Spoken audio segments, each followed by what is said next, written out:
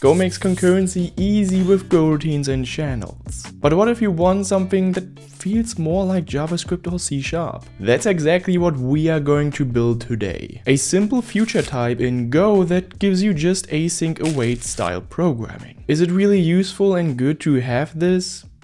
Maybe not, but let's just have some fun and learn a few things along the way. In a real world application, you would probably never see this. So let's just get started. Okay, before we get started implementing this async await behavior, I think it's worth mentioning how the API is going to look like. So let's just start with the main function here. And what we're going to do is demonstrate how we actually would use this async await behavior.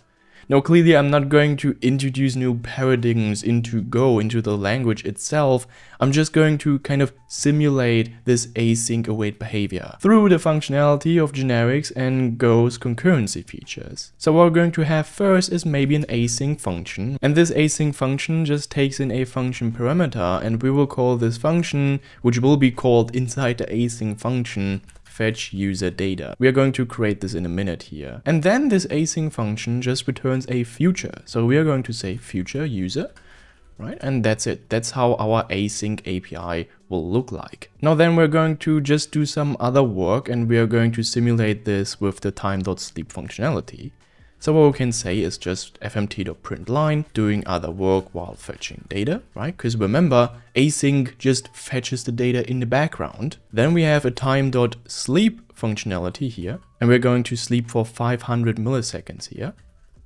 And then we're going to say fmt.println still doing other work, right? Because we are still doing the other work of the async functionality maybe. And then we're going to call an await function inside of our future. So we're going to say future user.await. Now this await function just returns the data, right? The resulting data of the call. So this could be user data, for instance, and of course an error if there is any sort of error. And here we can add another print statement and then we're going to say waiting for user data to arrive.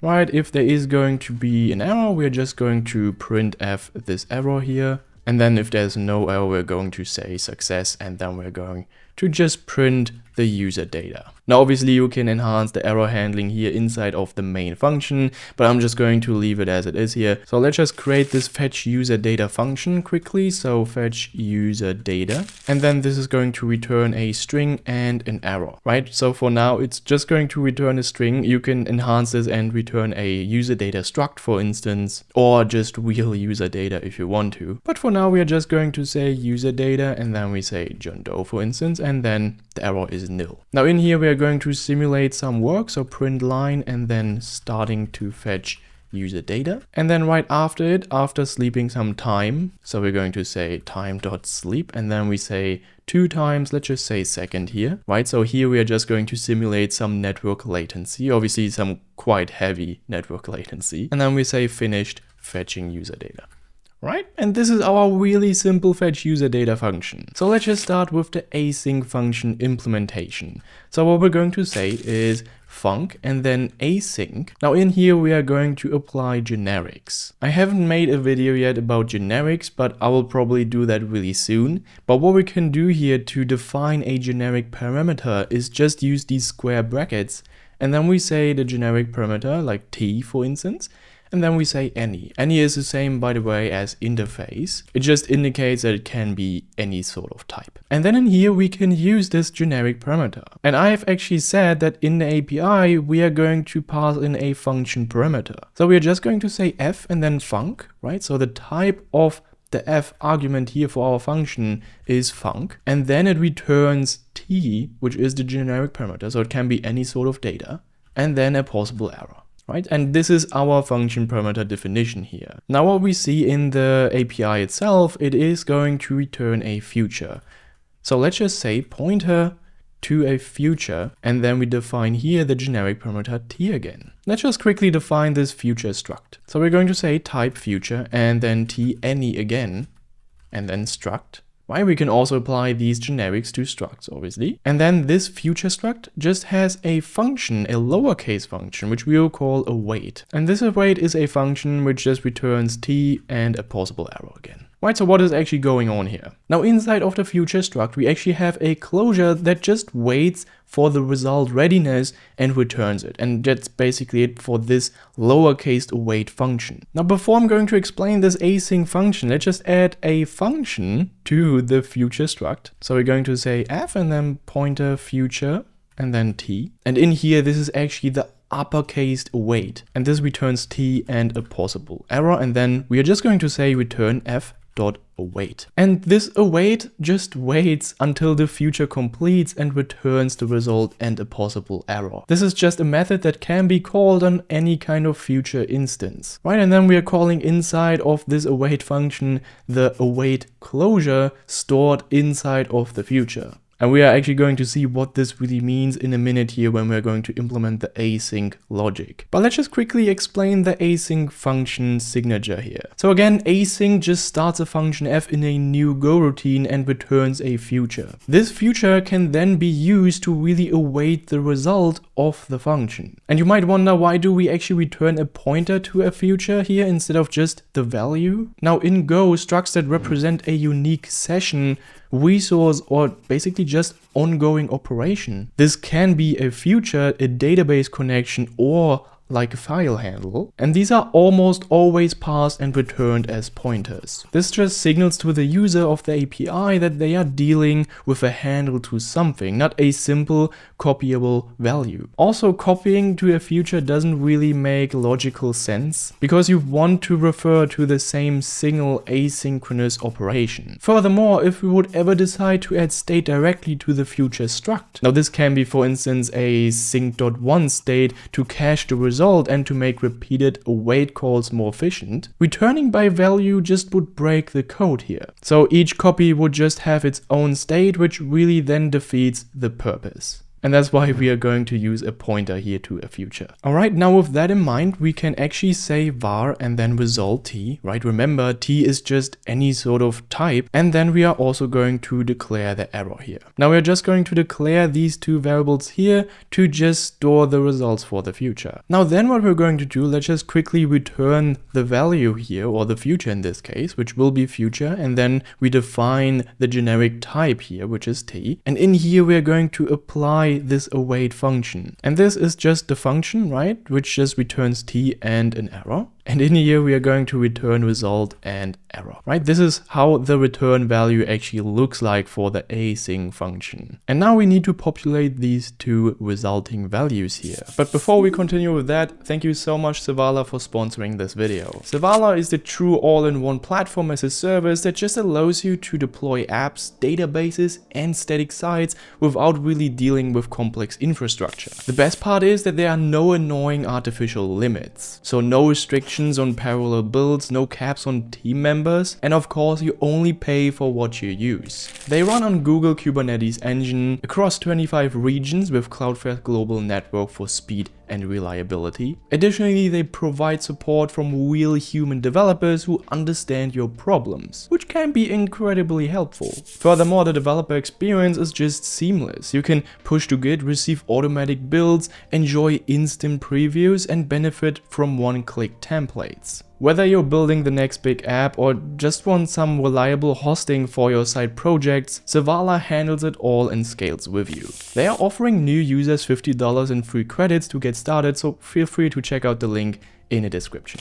Again, thank you so much to Sevalla for sponsoring this video. Now, let's just get back to the code. So what we're going to do is we are going to create a channel first, and we are going to use the make function, and in here we're going to say channel and then empty struct right? This just creates a channel to signal when the work is actually done. And chan and struct in this case just uses an empty struct because we only care about signaling. And in this case, make just creates the channel for that, right? This struct definition is just a zero size type. So it's the most efficient choice when you just want to notify completion, for instance. It's just a primary way to communicate and synchronize between Go routines in Go. All right, cool. Then we're going to just call a go routine here, right? So we're going to run the provided function f in this case in a separate go routine, which just enables this concurrent execution. And in here, we're just going to execute f and obviously f returns t and an error. So we can say result error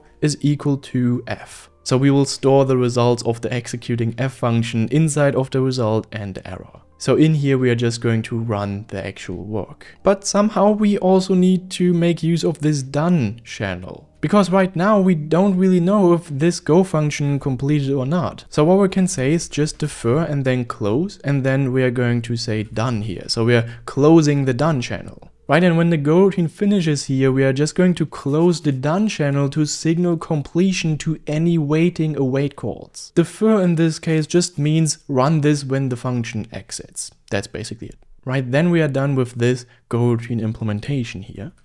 Now again, this future just returns immediately, so we are going to immediately return this future, even before the work is done. And inside the await function here, we are just going to wait until the done channel has been closed, right? So with this logic, we are basically waiting until the done channel is closed, and this just blocks or kind of pauses until the go routine finishes. So the general flow is that we first write the result and error, then we close the channel, we receive the close here and then return the values. This is the basic workflow here. And with that, we are kind of done. So if we are going to run this program, what we'll actually see is that we are doing some other work, right? Then we are starting to fetch the user data. We are actually waiting for the user data to arrive here, right? Because here we are calling the dot await function. And then it says finished fetching user data, right? It returns the user data. And then we just print the user data here. Just to recap what is going on here. Again, the async function just starts the fetch in the background, right?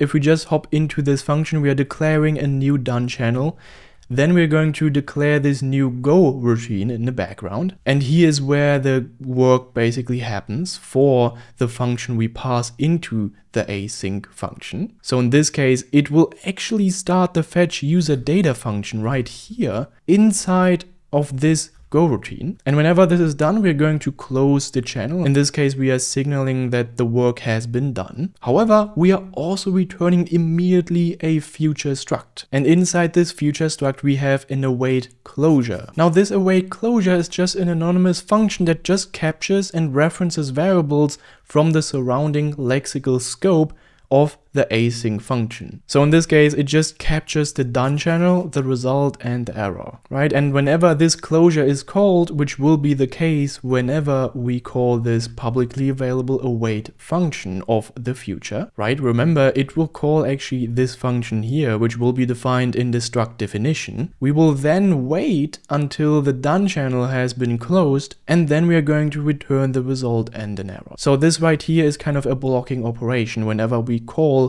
this function. So hopefully this makes sense for you, but we are not done yet because we can kind of enhance the error handling of the async await behavior here. So what we can do is just simulate a worker that just panics, right? Worker that panics. And this just returns a string and an error again. Here we're going to say fmt print line, right? Just some information here. Then we're going to sleep for 300 milliseconds. And then we're going to panic. Now this is an intentional panic just for the demo here. And clearly everything after this panic is just unreachable, so we do not need to return anything here. Right, this right here is just unreachable code. Okay, so what if we actually call this inside of the main function? So we're going to say future and then we're going to say async worker that panics, right? So we are actually starting the worker that will panic in the background. And then we are awaiting, so future.await. And then we're going to use this error handling here again. So if there is any sort of error, we're just going to print the error here. And if it was successful, we are just going to say success and we say value. All right, pretty cool. So let's just run this program again. And what we will actually see is a panic. And this actually ends the program, which is not really good for this async await behavior. Because maybe we want to recover this panic and we want to kind of handle it in the background or use it somewhere else, right? So as you can see, this fmt.printf is never really executed in here because we have a worker that will just panic and just crash the program entirely. So let's just fix this by going inside of the async function and then we can defer a new function here. Right in here, in the end, we're just going to close the done channel again. This is really important to actually signal the completion. Now I'm just going to demonstrate that we could add a recover here to really convert the panic into an error value and can then return it without really crashing the process. And converting panics to errors just may hide bugs, so use this carefully here. But for some applications, you might prefer the program to crash during development so bugs are actually noticed. Okay, so what we can do here is we can recover. So we are going to call the recover function. And then if r is not equal to nil, right? So here we're going to recover from the panic and then in there we are going to set the error. So recover in this case just returns the value passed to the panic or nil if there was no panic at all. And then in here we're going to apply a switch statement. Now it's important to highlight here that panics can carry any sort of value. Most likely it is an error but sometimes it can be also a string or another type. And we need to kind of handle this here with this switch on the dynamic type in this case to preserve error semantics when possible. So we're going to say switch and then we're going to say type to actually kind of get the type of R in this case. And then we say case error. So if it is of type error we are going to say error fmt.errorf and then in here we are just going to say panic in worker percent %w backslash n and then percent %s Right, in here we're just going to set the error value instead of panicking. And then we're going to say x and debug.stack. So what's actually going on here? Again, if the panic payload is already an error, we are just going to wrap it with this percent %w to preserve it as a cause. This just allows the callers to use errors.is or errors.as on the error itself. And then we are also attaching a stack trace via debug.stack to really show where the panic originated. Now if the recovered panic payload is not an error, so for instance a string, we actually need to format it with percent %v. So we say default here and we say error is equal to fmt.errorf panic in worker percent %v and then percent %s. Here we're going to say x again and then debug.stack. Right, always close the channel here so await can actually proceed even if f panics, or the function argument in this case panics, so the receivers will proceed. And then we are done handling the recover mechanics of panics here, right? And if we now run this program again here, we will actually see that we are recovering this panic right? So what we see is the stack trace here, and then obviously the panic in worker, something went horribly wrong. And then we also have this error prefix, right? So we can actually note that this line is run here. We can actually check this again by just saying awaited error. And then let's just run this program again. And what we actually see is that this line is run and we see awaited error here, panic in worker. And that's pretty nice and pretty helpful. Now it's important to note here as well that we do not really handle cancellation and timeouts here. So we do not really use the context module. Now real network calls must support cancellation so the caller can then cancel waiting and stop the work entirely. I will actually show you in a separate video how we can actually apply the context module to this code here. And that was it. Hopefully you've learned a few things in this video. If you also want to have a crash course about basic concurrency in Go, feel free to check out this video here. Anyway, thank you so much for watching. Have a lovely day and bye bye.